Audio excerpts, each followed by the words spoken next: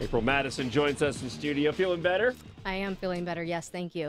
Uh, I think everybody in the room would agree that you are an adventurous woman. Sure. Yeah. All right, all right, all right. Um, Professor George Church of Harvard Medical School is in search of an adventurous woman. For what, might I ask? Well, he believes that he can reconstruct Neanderthal DNA and is looking for a human volunteer willing to allow that DNA to be put into human stem cells and then a human embryo. Fortunately for me, there are a lot of other adventurous women in the world, and I'm not the only one. You see, Neanderthals have been extinct for 33,000 years, but George Church, he's a genetics professor at Harvard, believes he can bring them back with the help of a surrogate human mother. This doesn't have the recipe for disaster at all, by the way. Advent. So they really need to use a different word than adventurous. crazy. Crazy might be good. Looking, searching for crazy woman. I don't think it would be that hard.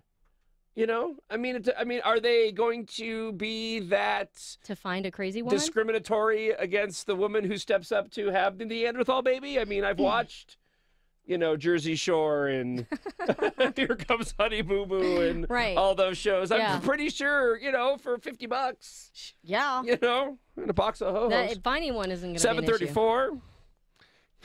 Welcome back to the Jon Justice Show. April Madison, feeling better I am feeling better. joins us in studio with an extended look at your forecast. I'm glad you're feeling better. You Thank was, you. We were having a rough. We were kind of all I was struggling. I didn't want to be here. I I, know. knew I was contagious. I well, knew you I wanted was to sick. be. You wanted to be here. right, but I You wanted just didn't want to be here. right. Right. You I always would wanna be rather here. work seven days of work healthy, Yes. seven days a week, than to be Yeah. sick and, you know, even be home. I cannot stand being sick, Yeah. No. and it's not, and then to have not to fun. work sick on top of it. It's Yeah. just horrible. Yeah. So um, I'm still a little bit under the weather, but I don't feel as bad as I as I You can did. tell. I, You're a little more. You're, so- you're, you're you're back to you're back to your your sprightly self. So that's good.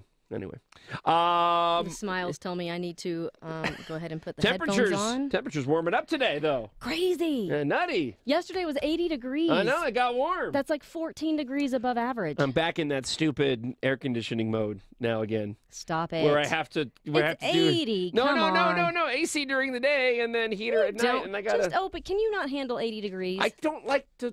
I'm not gonna complain. Everyone's like, you complain when it's cold, you complain you when it's do. hot. You are uh, such a girl And, when it comes to that. Yes. Why isn't it me a girl? I just- Um, I'm a girl, so I can say that. Okay, fine. Um, no, open up the windows. It's not 80 for that long. It's not like it's 80 from the time the sun comes up until it. I don't, You know- but I don't like being uncomfortable. If I can control the climate, I will. I can tell you, you're not the only one. I'm sure there's a lot of people using their air Right. during the day right That's now right. and heat at night. A lot of people do that. There's a right. lot. There's also a lot of really. Just stop. Well, yeah, Just okay. go. Thank you. Just go. Thank you before I get myself the in trouble. insults there. have returned along with April Madison's health. 79 is the high today, so.